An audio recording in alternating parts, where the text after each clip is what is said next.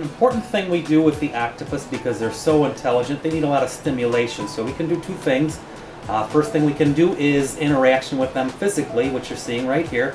They touch, uh, taste, and feel with those suckers. Uh, they're very responsive. And the other thing we can do is put some toys in there.